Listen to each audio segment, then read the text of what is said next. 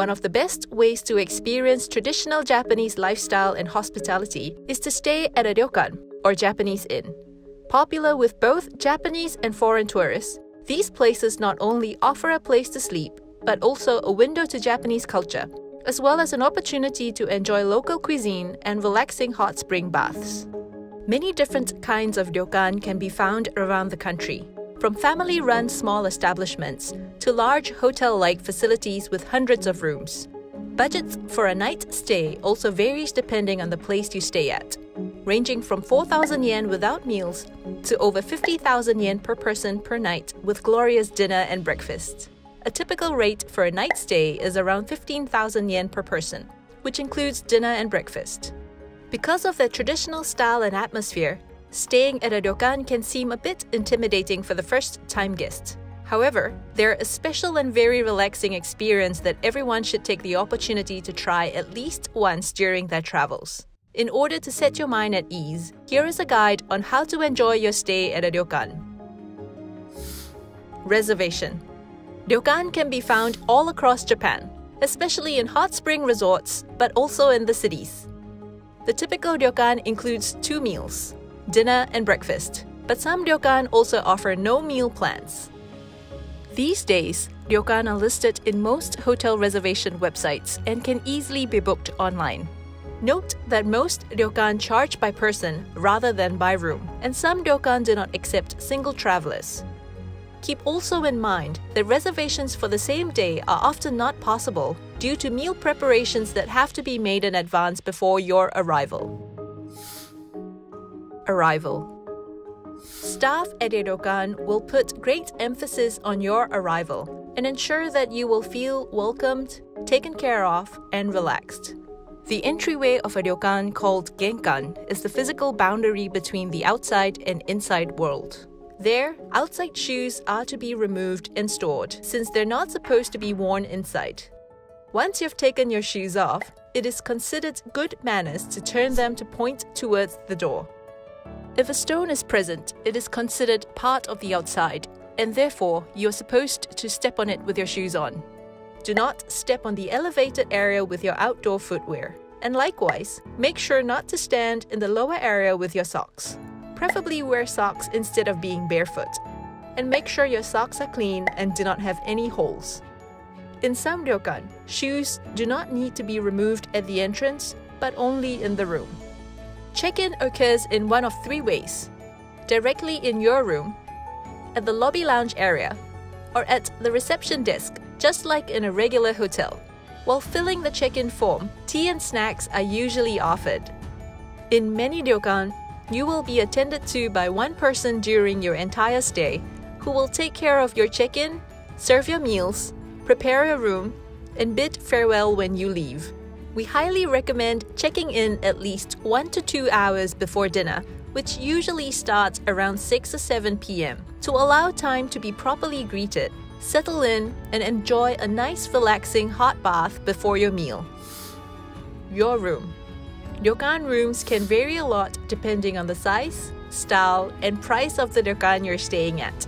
They typically can accommodate 2 to 4 occupants, have tatami floors with a low table at the center of the room, and often have an adjacent smaller sitting room with Western style table and chairs. Guests in a ryokan sleep on futon, Japanese mattresses, which are stored in a cabinet inside your room during the day and prepared by the staff in the evening during your meal. Typical amenities in ryokan rooms include a sink, fridge, toothbrushes, a bathroom, and Western style toilet. However, in older establishments, toilets and sinks are sometimes shared in a common area outside of your room. It is important not to walk on tatami with shoes or slippers, and to be careful not to dirty or damage it when carrying luggage. Slippers should be left neatly outside the tatami room. When using the restrooms, a different pair of slippers will be available for guests to use so they do not use the same ones used in the common areas. Guests will find bath towels and yukata, which you can wear during your whole stay, including meals, to the bath, and to bed. Here is a quick explanation on how to wear a yukata. Put on your yukata over your underwear. Undershirts and socks are optional. Fold the right hand side underneath the left hand side and hold it in place with your hand. Then fold the left hand side over the hand and hold it in place while you get your belt. also called an obi. Wrap the obi around your waist, cross it around your back, and tie in the front. For men, it should rest fairly low on the hips. For women, the belt is tied at the waist. Finally, adjust the knot so it lies on your right hip. Optionally, in cooler weather, the outer jacket can be worn over the yukata like a coat. These coats may have a pocket for carrying small items, such as your room key. Things to do Staying at a ryokan is synonymous with relaxing. The inns often boast beautiful gardens, baths, and other common areas for guests to enjoy. The most popular practice at a ryokan is to indulge in a hot bath, usually supplied by a hot spring. Although most ryokan have a whole range of gender segregated indoor and outdoor baths, some offer mixed gender baths or private baths as well. Called kashikiriburo, these private baths are made for families and couples who wish to bathe together and often require reservations before use.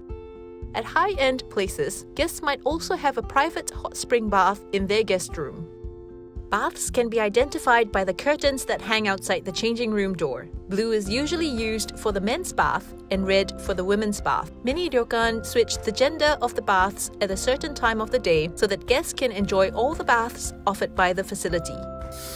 Here are a few etiquette rules on how to enjoy a bath. At the bath, you will need two towels, a big one and a smaller one. The small towel is used inside the bathing area. The big one is left in the changing room and is used for drying your body completely. Baths are enjoyed naked, so make sure to leave all your clothes and large towel in the changing room, taking only your small body towel with you for washing, drying, and enhancing privacy. Wash or rinse yourself well with water before entering the bath and be careful not to put your body towel in the water. Finally, Dry yourself with your body towel before returning to the changing room so that the floor does not get wet, and there you can use your large towel to dry your body completely. Another popular activity when staying at a ryokan is to enjoy the inn's garden and grounds while wearing yukata. In old fashioned hot spring resorts, it is pretty common to stroll around the streets in yukata and enjoy some additional bathhouses, shopping, or playing at old fashioned game arcades. Very large ryokan facilities often have karaoke rooms, restaurants, bars, and game rooms which operate until late at night. Meals One of the highlights of a ryokan stay is getting to enjoy traditional and local Japanese cuisine. Meals are often kaiseki ryori, or multi-course Japanese-style haute cuisine, which starts with an appetizer, followed by several dishes prepared using a variety of methods, including raw dishes, a soup, a boiled dish, a grilled dish, a deep fried dish, a steamed or dressed in vinegar dish, and conclude with rice, miso soup, and pickles, followed by a dessert.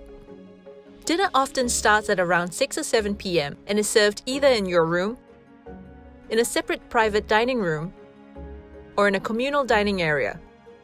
Guests traditionally eat their meal while wearing their yukata, although regular clothing is acceptable. Note that if you have any food restrictions, it is important to notify the establishment prior to your arrival so modifications can be made to the menu.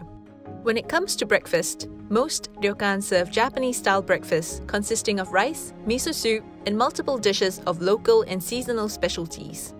Some will offer a Western style option, and some large ryokan may have a buffet style breakfast, which includes both Japanese and Western dishes. Just like with dinner, it is totally acceptable to eat breakfast in your yukata or in regular clothing. Checkout.